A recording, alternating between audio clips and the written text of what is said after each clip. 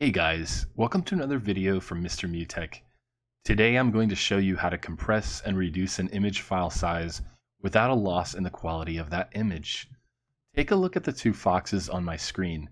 One of these images is actually 59% smaller in size than the other one that has been compressed. Can you tell which one?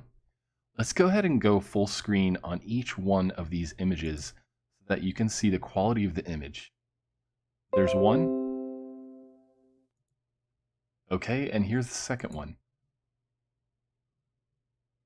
Okay, it's almost impossible to tell which one is of higher quality, right? Or of higher file size. All right, so let me show you a cool and reputable tool that's been around for some time here, and it is called TinyPNG.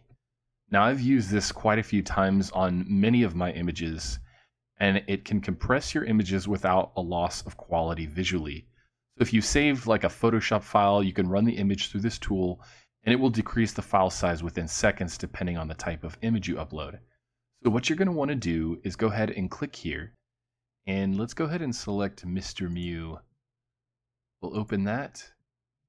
You'll notice it's compressing. Now the file that we had before was 298 kilobytes and it compressed it now down to 114. So that's a 62% reduction. You just go ahead and click on the download link there and it will automatically download right there to your downloads folder.